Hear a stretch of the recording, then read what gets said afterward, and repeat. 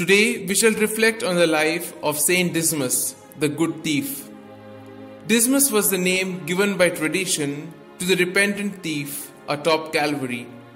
Nothing is known about him outside the Gospel, but legend has it that he, together with the other thief who was also crucified with him and supposedly named Gestas, attempted robbing the Holy Family on their flight to Egypt, but that he had nevertheless, for whatever reason, saved the family from the clutches of Gestas.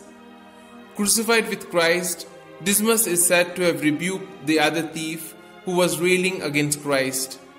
He said, Have you no fear of God at all? You got the same sentence as he did, but in our case, we deserved it.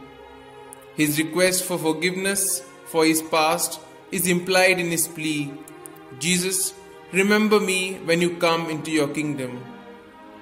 Equally significant is the prompt reply of the Lord I promise you, today you will be with me in paradise. It is uncertain when the first official canonization of a saint of the Catholic Church was held.